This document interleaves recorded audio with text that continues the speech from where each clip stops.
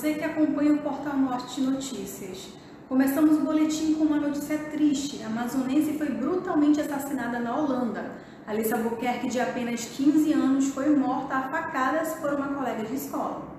O crime aconteceu na noite de quarta-feira, dia 12. A adolescente é natural de Anori, interior do Amazonas. Segundo relatos, a colega teria se apaixonado por Alice, que não correspondeu. Durante blitz do Detran, dois homens foram detidos transportando quase meio quilo de cocaína no bairro Dom Pedro. O motorista e o passageiro fugiram para o matagal nas proximidades, mas os policiais conseguiram pegar os suspeitos. E agora vamos às atualizações da Covid-19. 813 amazonenses se recuperaram nas últimas 24 horas. Foram confirmados mais de 975 casos da doença no Amazonas e um óbito foi registrado. 181 pacientes estão internados, 70 deles em UTI.